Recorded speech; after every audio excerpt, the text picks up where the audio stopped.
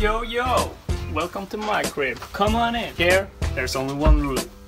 Scopus has to happen outside. First, we have the Opalus room. The Opalus room. And kitchen. Two in one.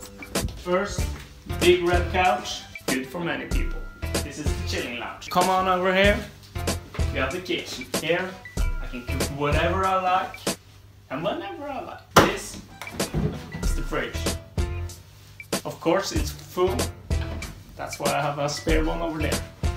And of course, no chilling lounge is complete without the mega flat screen TV, you know. This is the guest room.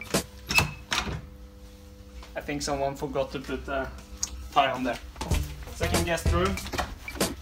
Not much happening right now. Quiet weekend. Yeah, Buskin, what's up? This is the gaming room. It's also good for sleeping, but mostly gaming, you know. Who cares about sleeping? This is the guard's room. Of course, this is a big house. You don't want your enemies close. He gave me the look. This is the master bedroom. Yo, Linux, what's up? Not much, huh? How's it hanging? A little bit to the right, you know. This is the washing room.